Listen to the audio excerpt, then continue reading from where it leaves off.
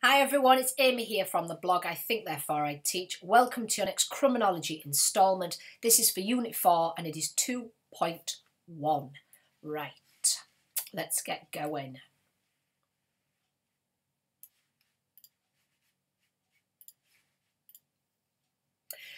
Two point one then is explain forms of social control. Nice and straightforward. And explain means that you do not need to evaluate any of these. You just need to explain them. So first of all, I got my students to write a list of all the reasons why people abide by the norms, values and moral codes of society that they live in. Why do we actually follow the norms? Why do we actually follow the values and the moral codes? And then all the reasons they come up with, I got them to write whether they were internal, they come from somewhere inside, as you just know you should or should not do that, or is it external? Is there something that would happen externally as the reason why you behave in that way? So my students discussed how um, they mentioned things like conscience, that's more of an internal reason why they follow the moral codes and have values. External things would be like the law, or the external things would be things like punishment, like being grounded by parents or being suspended from school. And so there's lots and lots of reasons why people obey these norms, values, and moral codes within a society. And this topic is looking more specifically at those areas. You need to be able to explain them forms of social control. Are they internal? Are they, I don't know what, what's happening with the screen, the PowerPoint uh, slide for this one. Um, the, the ones that you need to know are rational ideology, tradition, internalisation of social rules and morality. This PowerPoint will go through each of these. The external ones are your coercion, your fear of punishment, and your control theory is the reasons for abiding by the law. So these are all the areas you need to know. You also have a number of links to Unit 2 again and the situations case studies from Unit 3. So my advice is the sooner the better, find your Unit 2 notes. If you don't have many Unit 2 notes, go back to the earlier lockdown videos that I did last year. Find your notes on these areas because these were what will really, those links to previous topics, get you those extra couple of marks in each area. So in Unit 2, we've already studied the idea of societies have norms, values and moral codes. So last year, you looked at what norms were, what values were, what moral codes were, and why we um, why we followed them, looking at people like Freud and Skinner and Bandura. We looked at things like, um, you know, the genetic makeup of people, etc. So I got my students then to write down three norms, values and moral codes, three things in society that we do and follow. I then got them to write down what happens if people don't follow these. Um, and this then links in with the ideas of deviance. We've done deviance a lot. Deviance is something that should be really easy for you to understand now. Deviance is obviously where you deviate from the norm. This can be good or it can be bad. So, for example, Sir Tom, when he raised all of that money in lockdown. That was deviant. That was against the norm. People don't raise millions of pounds like he did. Um, you also have deviants, which can be bad things like owning 40 cats or wearing socks with sandals. I'm joking on that one, of course. Um, but deviance most often, though, has more negative connotations than positive. Sanctions then for these can be formal or informal. Formal is when you actually kind of get something in paper, on paper. That's the easiest way of seeing it. So a formal suspension, a formal warning, um, being locked up, uh, going to prison, that's all formal. Informal can be things like if someone pushes in the queue at Sainsbury's, you might tut at them, you might roll their eyes, you might chunter to yourself. Um, th those are certain things that I would do. You might be far more bold and actually say to them, excuse me, there's a queue. Um, but they're informal ones. So again, I got them to write down three sanctions, formal or informal, for deviant behaviour. And then just why society expects people to do this. So obviously, we run smoothly. We want a society that runs well and runs smoothly. And so that's why we expect people to follow them. And then why is deviance itself a problem? Why is people that deviate from this a problem? Because obviously part of that is is that they then create an unbalance in society. They create, obviously, if you keep 40 cats and you know, they're in your house, then they're not hurting anybody. Obviously, if you look after them, of course, but certain deviances are things that do affect the public and do affect other people. And so you cause a disbalance in society. Number one, then, internal forms of social control. Most of the time, we don't need someone else to tell us not to break the law. Most of the time, you just know that you should and should not do certain things. We regulate and control our own behaviour. You don't need to, someone to tell you on a morning that you need to put your clothes on before you leave the door um, because you regulate yourself. You know that's against the norms and essentially against the law. This might come from your own moral code or conscience, and these are self controlled. So the internalisation of social rules, in Unit 2 we did study certain theories. So I got my students to research and write down what they could find for Freud and the superego, how we internalise it, Skinner's operant conditioning, the idea of rewards, positive rewards, positive reinforcement, negative reinforcement, and punishment, and Bandura's social learning theory, the idea of vicarious reward, vicarious punishment, and the Bobo doll, etc. So it's important that you do get some notes on those areas because it helps later on in this topic.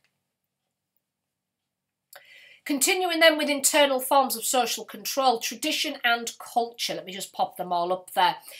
This links to the way that our individual internal set of moral principles happens. This could be the tradition and culture we grow up in, such as religion. Um, religion is an example of um, you know culture and tradition that we have. So, for example, the Ten Commandments are followed by Christians and Jews. The idea of zakat or charitable giving in Islam. Apologies for any pronunciation errors there. Or principles like ahimsa ahimsa. Um, this again is non-violence, which is loving kindness, which is supported by Hinduism and Buddhism. So whilst these things are external, the religion itself is external, how you internalize them. You don't have to follow the Ten Commandments. If you do, that's an internal judgment that you make. So even though it's an external thing, uh, such as the Ten Commandments is in a book that's external to you, your choice is to internalize them and follow them as your guiding force in life. Belonging to a community with a particular cultural values is important part of internal self-control. You don't want to break the cultural norms or the cultural values because of that self control, you know because of the way that they will judge you so that becomes part of your self-control rational ideology is a set of beliefs that guide and influence our decision making and behavior it could be through upbringing, parental influence, religion, culture again. So, again, rational ideology is part of what tradition and culture is. And so they start off as forces separate from yourself, but you gradually get internalized via socialization. Socialization being a key word. Socialization is the way that society impacts the way that you behave. The family and community we belong to influences us and becomes part of us and how we see the world. And so this is a display then of the internal forms of social control. Religion, as we've already said, is a major influence on how we behave. They're guided by the moral codes um, put forward for us to follow. Always give specific examples like I did on the previous slide upbringing, especially parental authority, has a huge influence on the way that we abide by the law. In that, if you're brought up in an extremely strict environment, the chances are you might want to push against those um, forms of social control that were put on you. If you live in a, if you have an upbringing where there are no forms of social control and you can do whatever you want, again, you might not have quite the understanding of the law. So your upbringing really affects the way that you see how you should and should not behave.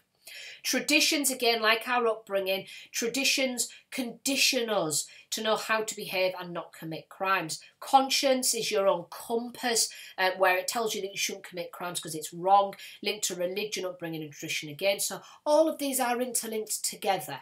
Some of them you will follow more than others. Some of them you won't even realise that's why you do what you do.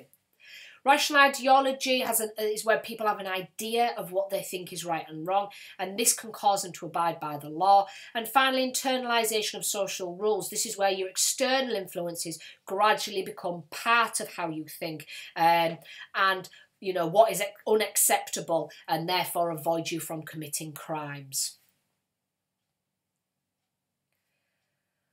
A question then that you could get asked on this area is for marks, using examples, explain what is meant by internal social control.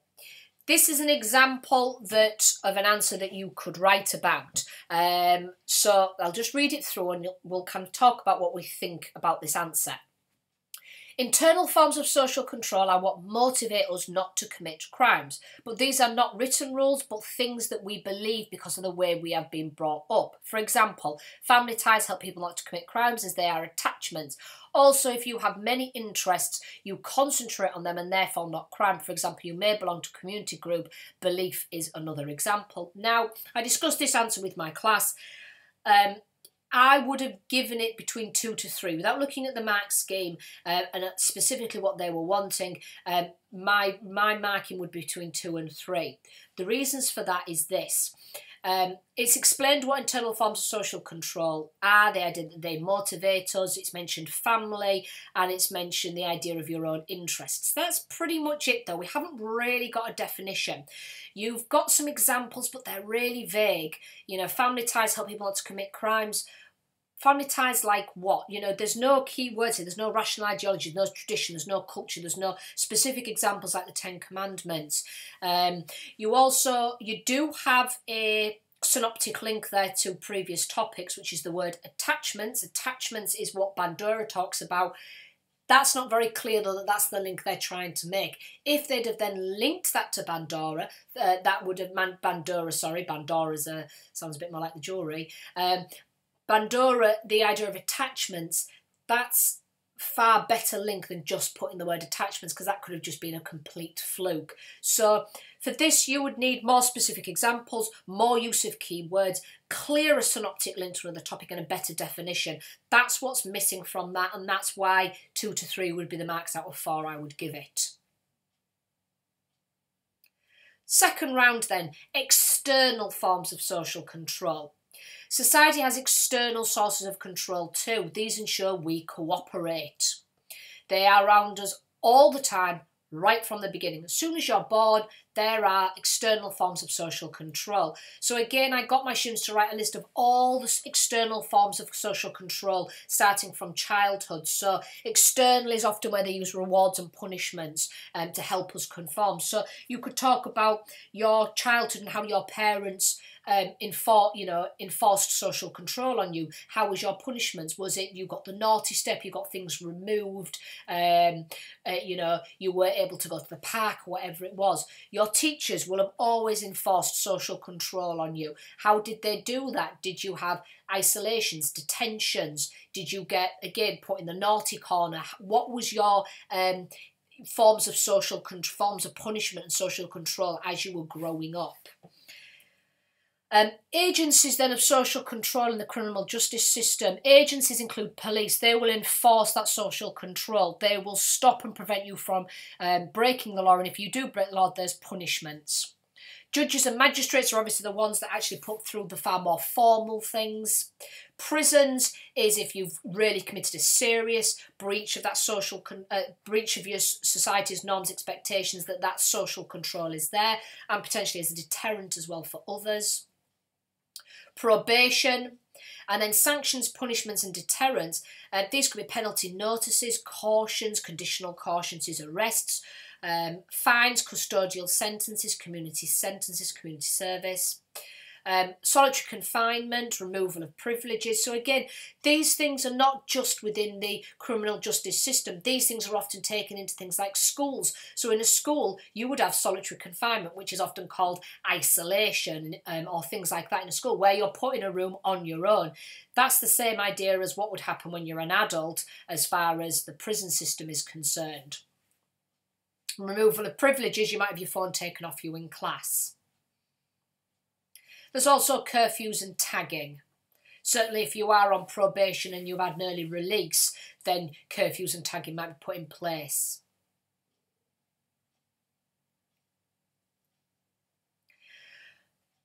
Forms of external social control, then, these are the specifics of the ways in which this social control is enforced. The first is coercion. This is where some kind of force is inflicted physical or psychological. So it could be threatened or it could be actual punishment put in place. E.g., in some countries, physical restraints or punishments may be used to force compliance. Um, now, these words are quite strong and they're all keywords and important words, uh, but obviously, we might not feel like we're being forced to comply, but we are. The fear of physical restraint, physical you know, actual punishment even psychologically affects you. I can't do that because something might happen. So psychologically, you think, I can't do that. Even without, you don't need to see a pair of handcuffs. You don't need to be put in a prison cell to have that fear there. You don't need actual punishment. Actually, the fear of that coerces you into it. In the UK, being detained or imprisoned are forms of coercion. Fear of punishment then is kind of the offspring of coercion itself, so it's often used as a means of coercion. Things will happen that are against your will and as a consequence of committing uh, an offence, e.g., arrested, put on trial, punished. Some right realists would argue, again, right realist linked to Unit 2, synoptic link there, would argue that crime would be a lot worse without the fear of punishment, that more people would commit crimes if they didn't fear that punishment. Finally, a deterrence. Oh, sorry, uh, and this acts as a deterrent. Deterrence itself then can be individual as well as general. Individual deterrence, then, is a person who has committed a crime is given a punishment like suspended sentence or conditional discharge. This then deters them from committing the crime again. It's designed to deter them from offending or re-offending again. If they do not, they're forced to have a more severe punishment, or certainly you would hope so.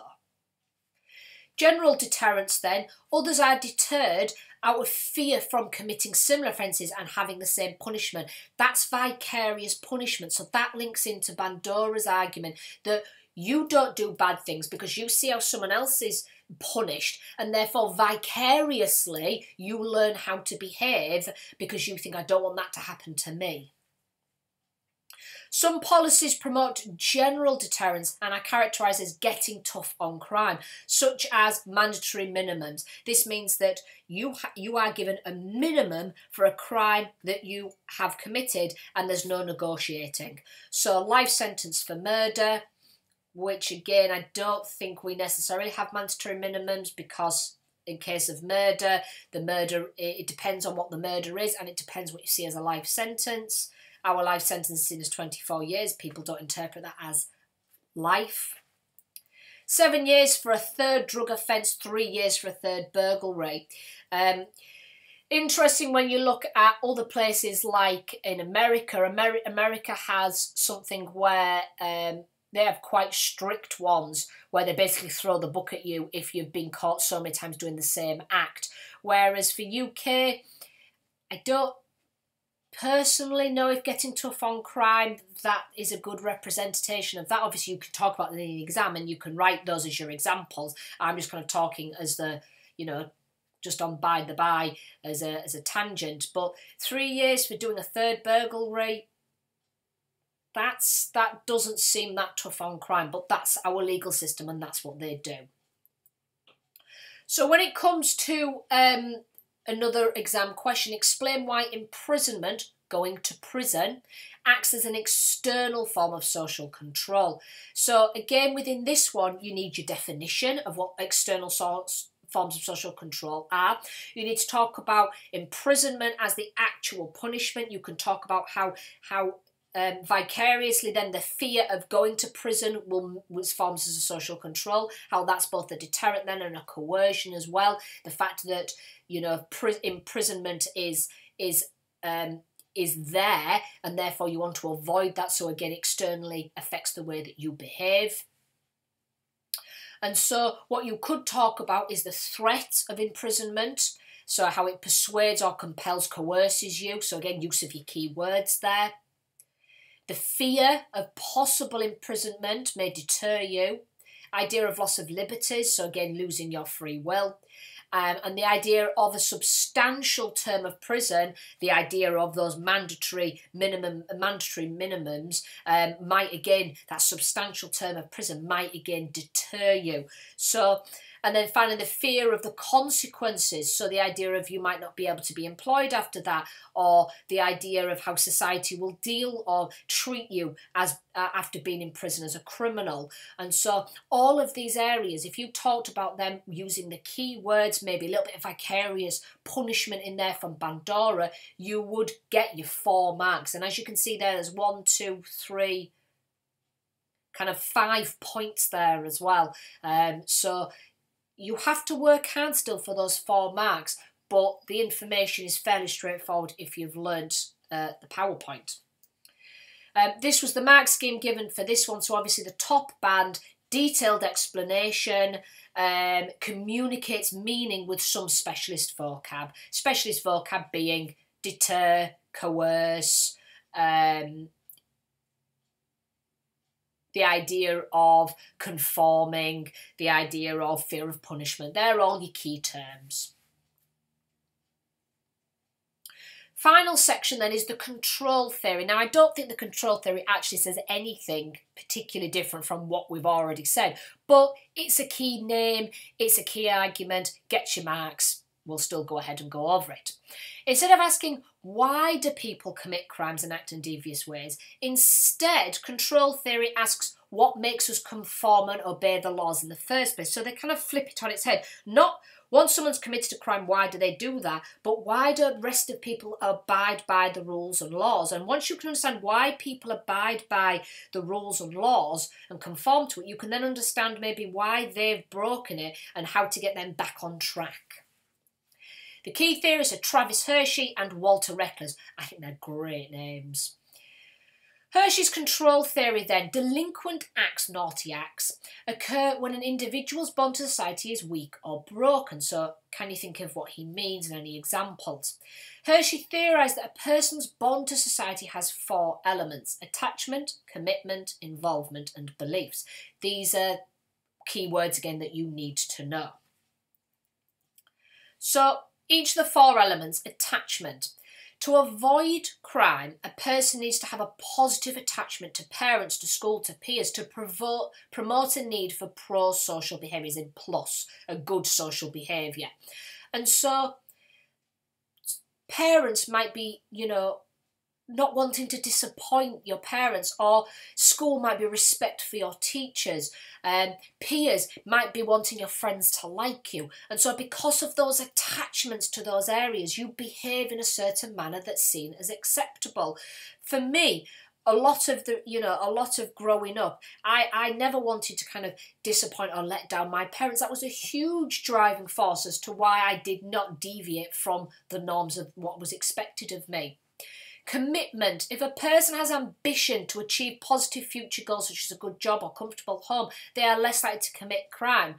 I'm not going to commit a crime. I'm not anyway, but I'm not going to commit a crime because I'm not going to put my job at jeopardy. My job is my life as far as it pays for my mortgage. It, it, it, gives me the lifestyle I, you know, require and enjoy. I'm not going to break the law and risk that. Or you might have ambitions to become lawyers. You might have ambitions to become police officers. You can't then break the law and have all of those future ambitions destroyed. One crime for the rest of your life. No, not worth it. Involvement. Those who are involved in social activities such as playing in sports teams or belonging to a community club or group are less prone to crime. Why? Because you don't want to let your teammates down. Think of the disgrace if you're in a sports team and then you do something and how your teammates respond and react to that, how you let them down. People again are driven by that group mentality of not letting other people down. Finally, beliefs. A belief in society's values such as honesty is needed and belief that committing crime is wrong. So this is just a belief that you want to be a good person, that honesty is the right way forward, the the belief that you shouldn't commit crimes. Now, I think the beliefs out of them doesn't work as well because the only reason why certain things are a crime is because you're told they're a crime by you know by the House of Commons, the House of Lords that decide the rules, the rulings that happen. At the end of the day, like in America and this country, um, you know, smoking marijuana is illegal. That's seen as a crime. In America, certain states it's a crime, other states it's not. So you could not, you could get arrested for smoking marijuana in one state, drive across the border and, and you know, light up a spliff, and then you, you're not breaking the law. How is it then? Where does the belief come from that when crime itself is so subjective, when you you you know you could move to another country and mar- have more than one wife that's then not a crime in certain countries but it's a crime over here. So i think for me for beliefs that's maybe the more questionable one because where do our beliefs come from if we're just told what we should and shouldn't do decided by somebody else? But again that's a bit on the side you don't really need to evaluate these it's just a thought to have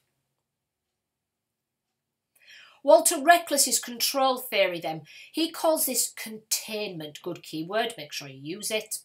We resist committing crime due to inner and outer containment. Inner, inside, outer, outside. Inner, upbringing, especially our family. Outer, social groups, laws of society. Reckless said that a combination of both inner psychological containments and external social containments stop people from deviating from the norms and committing crimes. Nothing particularly groundbreaking there. I don't think there's anything different he says than anybody else. However, he's a name, he's got a key word, good for your marks. So, Inner, of course, is going to be psychological because it's inside you, so it's in your head, so it's psychological. Outer, of course, is outside of you, so it's where social groups, etc., um, including the laws, have an impact on you. But this idea that you are contained by both of them to behave in a law abiding and not deviant manner. Finally, an eight marker discuss the different forms of social control. So, with this one, you've got a full mark answer there. Everything about this answer screams full marks.